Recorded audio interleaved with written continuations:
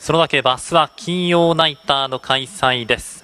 大日本プロレスカップが行われます。そして大日本プロレスの競馬場プロレス。明日リング設営しての興行となります。ご期待ください。まもなく今日のメインレースを迎えます。それではここで次に行われます。最終の12レース各馬の増減お伝えしておきましょう。頭数12頭です。C1 クラスの 1700m 戦最終12レース1番大新ウィンプラス4キロです。2番マルカリードマイナス3キロ3番リューシンベガス増減なし。4番名称ティグレプラス1キロ5番ゴッドバローズプラス3キロ6番北のスズランマイナス3キロ7番カノンブループラス3キロ8番名称ルーシーマイナス2キロ9番サンバディマイナス4キロ10番コスモカンプ増減なし11番アーダルベルトマイナス3キロ。12番コスモバーズは増減ありません。以上この後行われます最終の12レース各馬の増減でした。これからメインの11レースダッシュ柳津福山駅前開設5周年記念特別を迎えるところです。ゲート後方各馬輪乗りを行っています。兵庫県競馬の選手権距離 1870m 戦。小馬のオープン特別重賞級のいいメンバーとなりました。スターター大丈夫です。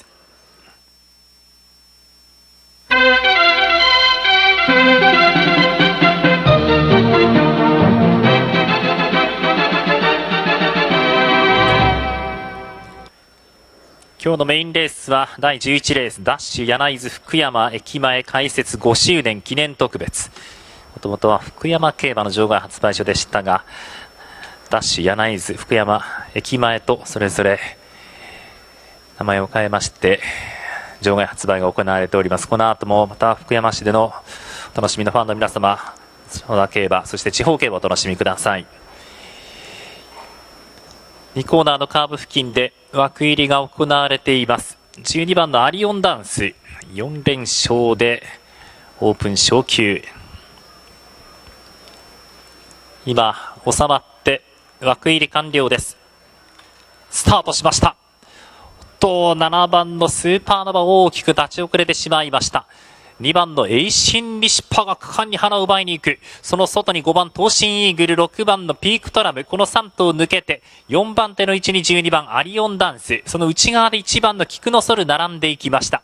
2馬身差で10番タガノベリテ。これがちょうど中段のポジションとなりました。11番のビクトリーミドルが外からちょっとかかりながら上がっていきます。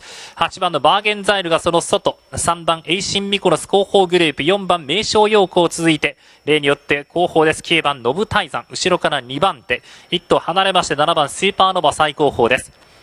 正面スタンド前に入ってきました。前は3頭並んでいますが、インコース2番のエイシンリシパ吉村わずかに先頭か。外5番トーシンイーグル。さらに外に6番ピークトラブ。川原大垣並んでいきました。この3頭横に広がっています。4番手インコースでじっと脚をためている。1番のキクノソル。田中の騎乗です。その外に昇級戦12番アリオンダンス。